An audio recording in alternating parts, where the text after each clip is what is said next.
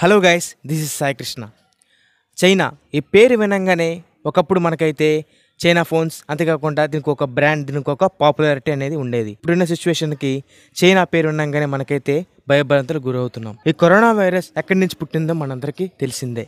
ఇప్పుడు మనం అసలైన టాపిక్ని స్టార్ట్ చేద్దాం. చైనాలో మరో కొత్త వైరస్ అయితే పుట్టింది. ఆ వైరస్ పేరే హటానా చైనాలో ఉన్నాన్ అనే ప్రదేశంలో దాని పక్కన ఉన్న షాండాన్ అనే ప్రదేశంలో ఒకతను వర్క్ చేసుకొని తిరిగి ఇంటికి వస్తుండగా బస్సులో అతనికైతే హటానా వైరస్ ఉన్నట్లు గ్లోబల్ టైమ్స్ వాళ్ళైతే తెలియజేశారు. అంతేకాకుండా బస్సులో ఎంతమంది ఉన్నట్లు వాళ్ళైతే తెలియజేశారు. ఇప్పటికీ పదమూడు మంది చెడిపోయినట్లుగా మనం వార్తలు అయితే చూస్తూనే ఉన్నాం.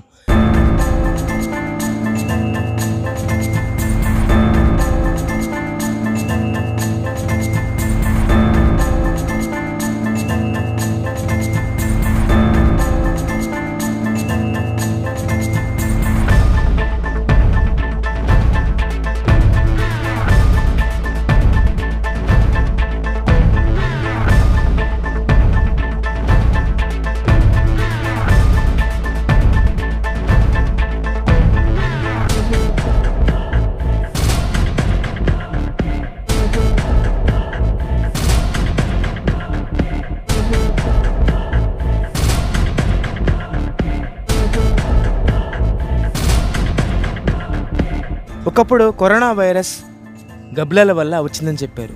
ఇప్పుడు వచ్చిన హటనా వైరస్ రోడెంట్స్ రోడెంట్స్ అంటే ఎలుకలు. ఈ ఎలుకల వల్ల వచ్చిందని చెప్తున్నారు. మొన్న పుట్టిన కరోనా వైరస్ నిన్న పుట్టిన హటనా వైరస్కి ఒక వెయ్యి ఎనిమిది వందల ఎనభై ఏడు కిలోమీటర్లు అయితే తేడా ఉంది. అంటే వుహాన్ సిటీ నుంచి ఉన్నానికి ఒక వెయ్యి ఎనిమిది వందల ఎనభై ఏడు కిలోమీటర్లు.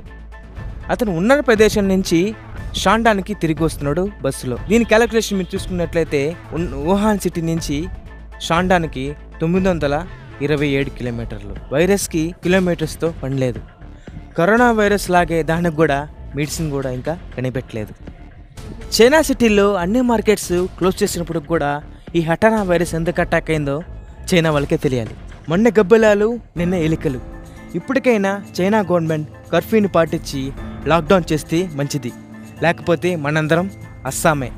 మన ఇండియా మొత్తం లాక్డౌన్ చేసేసి కర్ఫ్యూని అయితే మనం చక్కగా అందరూ పాటిస్తున్నారు. కానీ చైనా వాళ్ళు మాత్రం ఏమాత్రం మాత్రం పాటించకుండా వాళ్ళ వర్కులు వాళ్ళ పనులు వాళ్ళు చేసుకుంటున్నారు.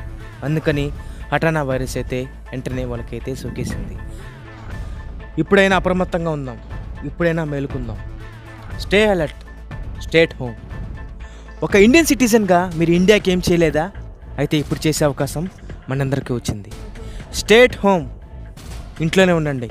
కర్ఫ్యూని చక్కగా పాటించండి. This is Sai Krishna. Sai one three. Signing off. Bye bye Jai Hind.